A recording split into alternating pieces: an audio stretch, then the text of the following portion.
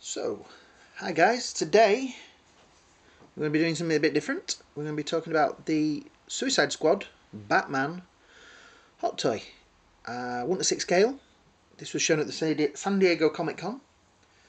And I think this looks really cool. It has wire in the cape so that it is posable.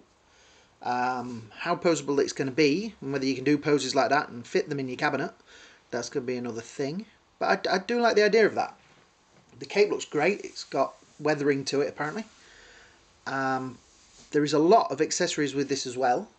You're going to be getting three faces, three sets of eyes, some batarangs, lots of hands, uh, the rebreather, uh, grapple guns, other kind of guns, and a branding iron, which I think is kind of cool because I know he doesn't use the branding iron in this film, but you know, throw it in there. You've probably got some left over from the Suicide, uh, the other Batman films. Um, I, I, do think the suit looks a lot darker, but then again, in this film, he is stood in the dark a lot more. Um, I do like the lighter version as well, but I mean, the cape looks great. I mean, that's part of the problem with these Batman things. You've got to have a good cape. But the grapple gun thing there as well, which looks nice.